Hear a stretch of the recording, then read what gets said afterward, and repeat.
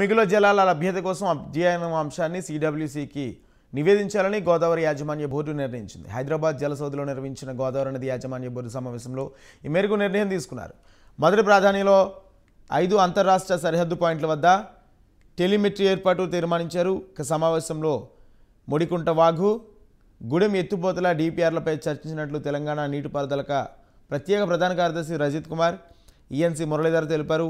డిపిఆర్పై AP కొన్ని సాధారణ అభ్యంతరాలు లేవనెత్తిందని రఘు రజిత్ కుమార్. త్వరలోనే అనుమతులు వస్తాయని భావిస్తున్నట్లు తెలిపారు. పోలవరం బ్యాక్ వాటర్ అంశాన్ని సైతం సమావేశంలో ప్రస్తావించామన్నారు. ఈ అంశాన్ని పోలవరం ప్రాజెక్టు అథారిటీతో చర్చించాలని జీఆర్ఎంబీ సూచించినట్లు వెల్లడించింది. ఇక పాలమూరు రంగారెడ్డి ప్రాజెక్టుకు సంబంధించి ఎన్జీటీ తీర్పుపై స్పెషల్ లీవ్ పిటిషన్ వేయాలని నిర్ణయించినట్లు రజత్ కుమార్ తెలిపారు. పూర్తి స్థాయిలో కసరత్తు చేసి వారం రోజుల్లో పిటిషన్ వేస్తామని పేర్కొన్నారు. గారు ఇచ్చారు క్లారిఫికేషన్ ఇచ్చారు. దట్ వ్యాప్కో స్టడీ చాలా క్లియర్గా ఉంది చాలా చక్కగా చేశారు. దానికి బేసిస్ తీసుకొని మనం ట్వంటీ ట్వంటీ వన్ వరకు ప్రొజెక్షన్స్ తీసుకున్నాము. ఇఫ్ సో బోర్డులో ఏం నిర్ణయం అయింది? That we will now refer to CWC to take up the professional study ఒక నేషనల్ అథారిటీ కింద అయితే బెటర్ ఉంటుంది. ఈ జిఆర్ఎంబి అయితే ఏపీ రీఆర్గనైజేషన్కి యాక్ట్ కింద ఫార్మ్ అయిన ఒక బాడీ ఉంది. ఇది ఆంధ్ర తెలంగాణ డిస్ప్యూట్ సెటిల్ చేయగలరు సాధ్యం ఉంది వీళ్ళకి పర్వ్యూలో ఉంది. But when other riparian states Maharashtra Chhattisgarh Madhya Pradesh Odisha వీళ్ళు వస్తారు అప్పుడు they will not have the right authority. So సిడబ్ల్యూసికి refer చేయడానికి ఒక నిర్ణయం జరిగింది.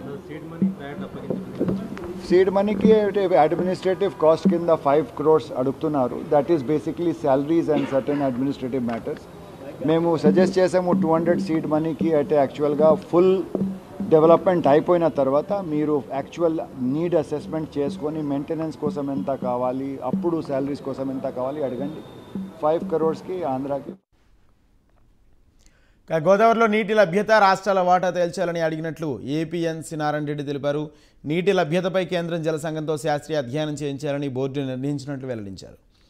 ఇక తెలంగాణ ప్రాజెక్టులపై అభ్యంతరాలు ఉన్నా పట్టించుకోవడం లేదన్నారు. నీటి లభ్యత ఉండగా గూడెంలో అదనపు ఎత్తిపోతల పథకం ఎందుకని అడిగామని ఈఎన్సీ నారాయణ రెడ్డి వెల్లడించారు. గూడెం ఎత్తుపోతలతో ప్రజాధనం దుర్వినియోగం అవుతుందన్నారు. ఇక పోలవరంపై చర్చకు గోదావరి బోర్డు సరైన వేదిక కాదని చెప్పినట్లు ఆయన వెల్లడించారు.